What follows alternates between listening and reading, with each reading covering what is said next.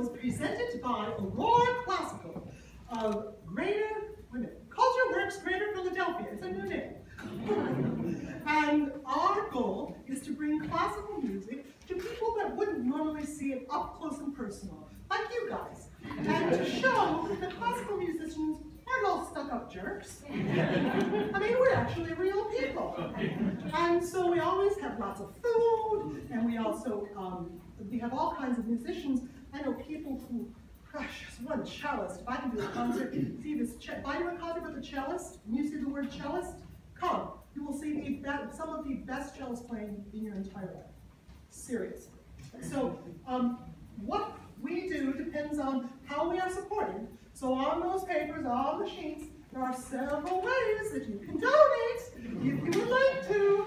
And feel free to support our cause. And meanwhile, if this leads to buy a ticket to the Kimmel Center or to go take a cooking class, and we have completed our job. Well, into the kitchen, and thank you very much.